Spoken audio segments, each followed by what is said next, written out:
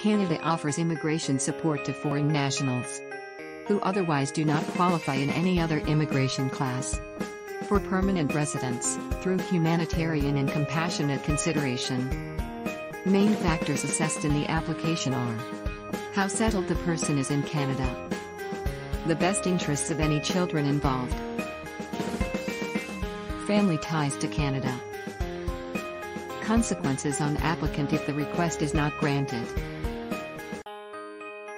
Let us help you. We will perform initial assessment and advise you on your eligibility. We will prepare your application meticulously and assist you in gathering necessary documents. We will review the supporting documents to match H&C requirements. We will legally represent you to IRCC and communicate on your behalf with the Canadian government. CanX Immigration. We make a difference.